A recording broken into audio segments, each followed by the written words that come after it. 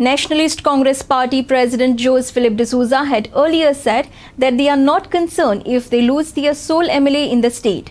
Why is he grumbling now? If the Congress can merge, why not me? Newly TMC inductee Churchill Alemao questioned on Tuesday.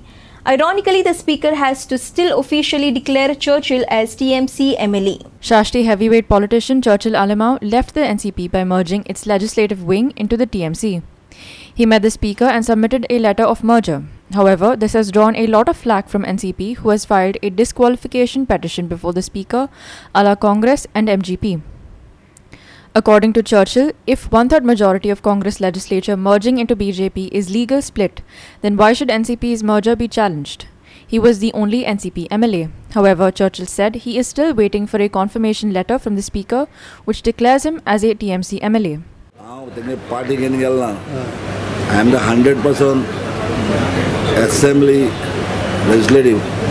hundred percent not two third not four fourth third sometime back speaker accept two third ten people gone from Congress to BJP and accepted no merger so why not my merger I not join and done merger तर तुमकां स्पिकराचे न्हू हें B येयलें acceptation B येयलें letter येतलें येयला आसतलें वचयलें नाय कित्याक जावपाक कन्फर्म जातालो जाल्यार लेटर येयलें जाल्यार जाचना तुका तो पयलीं सांगतालो मरे बाबा एक आमदार गेलो आमकां कांय फरक पडना म्हणून? आज कितें बेजार तुका हांव ताका एक वर्स रावलो मरे एक वर्स सांगलें मरे हांव कितले बाजे. तुमी सांगताले मरे आज सांगता फाल्यां सांगता तुमी सांगनासले TMC MP and National Vice President Luizinho Faleiro called Churchill's merger with the TMC constitutional. 10th schedule of the constitution so-called anti-defection law. Nobody is expert except goans. Because goa has seen the defections for the last 20 30 years.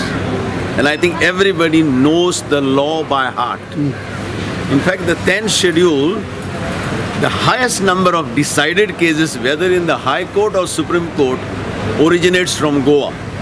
So what Churchill Alemao has done is absolutely within the ambit of 10th schedule of the Constitution of India. Because 10th schedule is very clear. He doesn't only represent more than two-thirds, he represents 100%. And therefore, there's absolutely no doubt the step which he has taken is as per the law and the law is loud and clear. William Rodericks for Goa 365 from Panaji.